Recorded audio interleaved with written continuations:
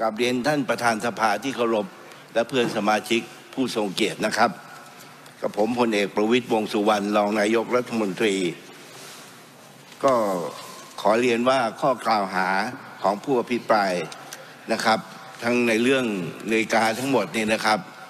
ผมไม่สามารถที่จะตอบได้ เพราะว่าไม่อาจก้าวล่วงไปในเรื่องของปปชเขาได้นะครับ เพราะผมไม่ได้เกี่ยวข้องกับในเรื่องของปปช นะครับ ส่วนในเรื่องที่ผมจะมีเพื่อนดีสักคนนี่ ของคุณคงไม่เคยมีนะครับ ผมผมมีมีเพื่อนดี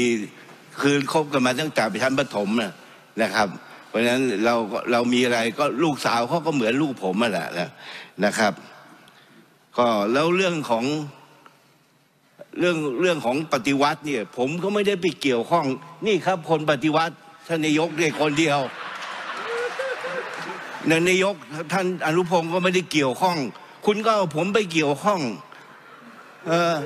ผมยังไม่รู้เลยจะปฏิวัติเมื่อไหร่สามปอสามเปอร์อะไรเงี้ยนะพูดไปเรื่อย นะ เอาเอาเรื่องจริงเขาว่าดีกว่าครับนะครับนะครับ เอ่อ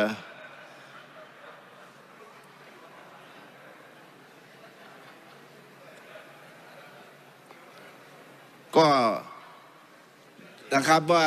ผมก็มีเพื่อนดีๆแหละที่จะให้ผมยืมอะไรได้นะครับ ส่วนในเรื่องที่ผมจะตอบคุณว่าอย่างงุ้นอย่างนี้ เกี่ยวกับเรื่องปปชนั้น ผมไม่อาจก้าวล่วงไปได้นะครับ ขอบคุณครับ